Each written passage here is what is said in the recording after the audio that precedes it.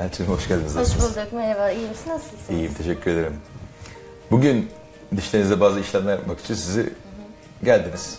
Ve dişlerinizin resmini çektim. Res, dişlerin resmi bu. Nasıl geldi dişlerin resmi? İnsanlar bazen diyorlar ki bu dişler benim mi? Güzel gözükmüyor evet. Bayağı lekeli. Lekeli, kırıklar var, Evet. kırıklar var, aşımalar var gibi. Öncelikle benim gördüğüm kadarıyla diş etleriniz sağlıksız. Fırçalarken diş etleriniz kanıyor mu? Evet fırçalarken kanıyor diş etlerim. Evet. Bunlar. Kanayan yerlere dokunuyor musunuz, dokunmuyor musunuz? Dokunuyorum. Dokunuyorsunuz. Genel güzel bir dokunun yani. Bazı insanlar diş etleri kanayınca diş etlerine dokunmuyorlar. Dokunmayınca oradaki bakteriler daha çok artıyor. Daha çok artınca da durum içinden çıkılmaz hal haline gelebiliyor. Diş hekimine de gitmezsen. İlk iş diş hekimine gideceğiz. Biz diş taşlarını temizleyeceğiz. Sonra diş etlerine lazer yapacağız. Oraları dezenfekte edeceğiz. Siz de fırçalarken diş etlerinize masaj yapacaksınız bir. İkincisi diş ipi kullanmanız lazım. Herkese söylüyoruz. Diş ipi kullanmanız lazım. Dişlerin araları temizlenmeli. Üçüncüsü de muhakkak mümkünse günde bir kere ağız gargarası yapmamız lazım. Ben diş etlerini sağlıklı getireceğiz. Ondan sonra kırıklar var. Kırıklar için bonding konusu yapacağız. Bonding. Hep bonding konuşur olduk. Ancak biliyorsunuz gülüş tasarımının birkaç aşaması var. Eğer diş problemliyse, kısaysa, aşınmalar varsa bondingle çözemezsin. Lamine yapmak zorundasın. Eğer eski kaplamalarımız varsa, metal destekli kaplamalar memnun değilsek o zaman yine bonding yapamazsın. Sökersin eski kaplamayı, içinde metal desteği olmayan kaplama yaparsın. Bu önemli konu. Genelde böyle vakalarda bonding yapınca insanlar zannediyor ki her vakada bonding olur. Hayır. Bonding ufak tefek işler için. Dişinde aralık mı var? Evet bonding sizin için güzel bir aday. Kırılık mı? Kırık. Tek seansta toparlayacak. Ama büyük işler için muhakkak lamine yapmak lazım. Diş etlerini tedavi ettik. Sonra dişi beyazlatacağız. Ondan sonra da kırıkları bonding yapacağız. Tek, tek seansta çözeceğiz. Teşekkür ederim. Hazır mısınız Hazırım tedavinize? hocam. Hadi başlayalım gelin. Gelin, Buyurun. İşleme öncelikle diş taşlarını temizleyerek başlıyoruz. Diş taşları muhakkak ortamdan uzaklaştırılmalı. Temizledikten sonra güzel cilalayacağım. Ondan sonra lazerle diş etlerini dezenfekte edeceğim. Sırasıyla bu işlemleri yapacağız. Başlıyorum.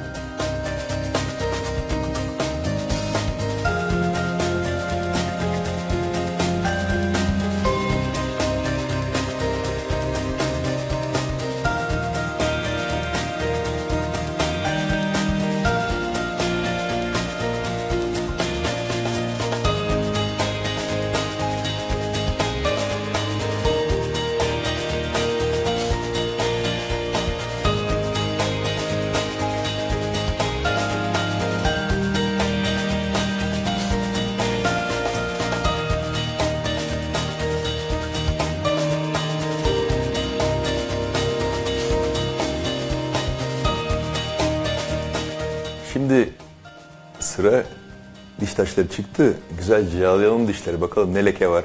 Lekeler çıksın. Zaten diş taşı temizliğinde esas şu.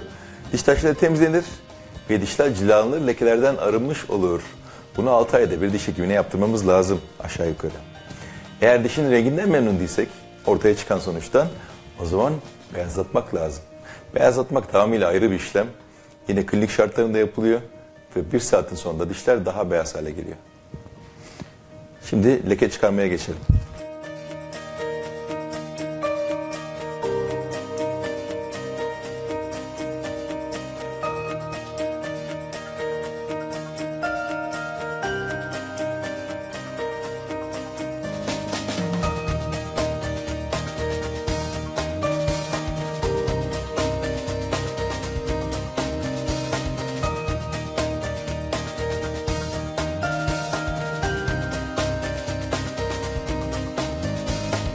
Diş eti kanaması ortada bir problem olduğunun habercisidir. Bu başlangıç seviyesinde olabilir ve ilerlemiş seviyelerde iltihaplanmış olabilir. Diş eti iltihaplanırsa çevre dokular zarar görür. Zarar görünce de kemikler erimeye başlar. Erimeye başladıktan sonra da dişleri kaybederiz. O yüzden muhakkak diş etiniz kanıyorsa diş hekiminize kontrole gidin ve tedavi olun. Bu tedavi edilmesi gereken bir hastalıktır. Lazerle birkaç işlem yapılabiliyor günümüzde. Bugün dezenfeksiyon yapacağız. Ama biliyorsunuz en çok konuştuğum, en çok yaptığım yöntemlerden biri ne? O da pembe estetik. Diş etiniz çok görünüyorsa, diş etinizin daha az görünmesini istiyorsanız, lazerle veya elektro cerrahiyle aynı günde diş etlerinizi yukarı seviyelendirip diş etinizin daha az görünmesini sağlayabilirsiniz. Veya çok seviye farkları varsa diş etleri arasında onlar ve güldüğünde görünüyorsa onları düzeltebiliyorsunuz pembe estetik yöntemiyle. Şimdi geçelim dezenfeksiyona. Lazerle koruyucu gözlüklerimizi taktık.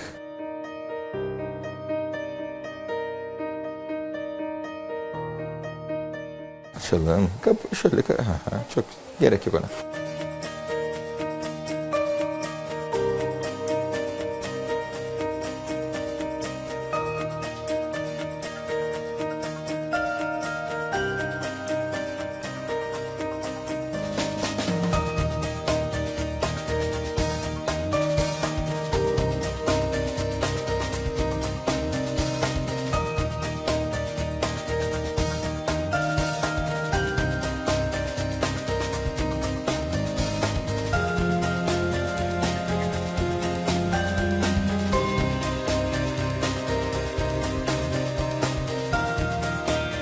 Diş etlerimiz sağlıklı hale geldi.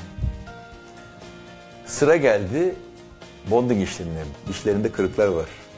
Bonding tek seansta kırık, aralık veya ufak tefek şekil değişiklikleri için kullanılır. Hep ufak tefek kelimesini kullanıyorum çünkü büyük değişiklikler için lamine şart diyoruz. Aynı gün yapacağım. Hepsi bitecek. Ancak sizler bir sonraki gün seyredeceksiniz. Ben bonding işlemine devam edeceğim.